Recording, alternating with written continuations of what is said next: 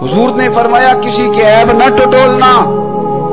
अगर तुमने किसी के ऐब टटोल के उसे रुसवा करने की कोशिश की तो फरमाया, तुम अगर सात पर्दों के अंदर भी बैठे हुए, वहाँ भी अल्लाह तुम्हें रुसवा कर देगा। ये ना समझना कि मैं छुप गया हूँ तो बच जाऊँगा। अल्लाह तुम्हें वहाँ भी रुसवा।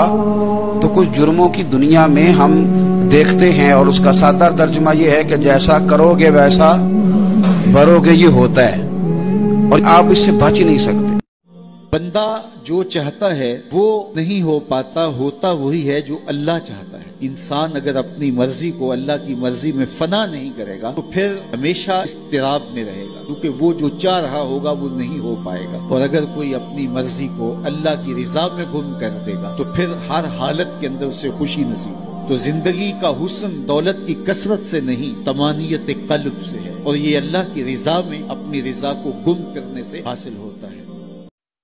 जिस बंदे को यकीन हो ना मैंने रब से मिलना है, उसी की तरफ़ जाना है, उसके लिए ना नमाज़ मुश्किल है, ना सबर मुश्किल है। उसके लिए दोनों चीज़ें आसान हो जाती हैं। शर्त यह है कि शौक हो तेरे अंदर रब से मुलाकात का। मेरे नबी पाक सल्लल्लाहु अलैहि वसल्लम ने फरमाया, लोगों, जो रब से मिलने का शौक रखता है ना, अल्लाह भी उससे मिलना पसंद करता है।